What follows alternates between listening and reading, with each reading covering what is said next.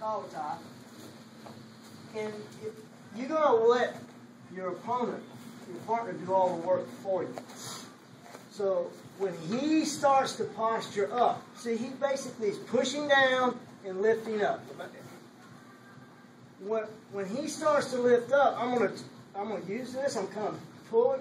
I'm going to put my elbow on the floor and I'm going to turn my body. I'm going to put this foot on the floor. Here. Go ahead, posture up. Yeah.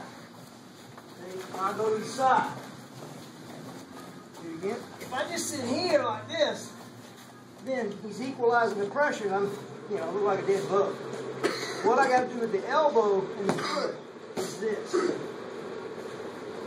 this puts on the floor and it allows me to move my hip, which takes the pressure off. It allows me to slide away. So he comes up. There's the hook. Right there. So that's how you get the first hook in. Comes up, hook. That's the first hook. The second hook, you, you want to make sure you have him also pulled. See, I went at an angle. So I've got him pulled off an angle.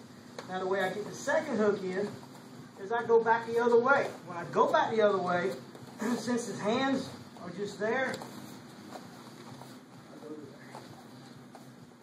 It's easy to do. Once you do it about 500 times. The key is when he sits up, here and here, if you just try to sit up, it's not going to work. Foot has to go on the floor.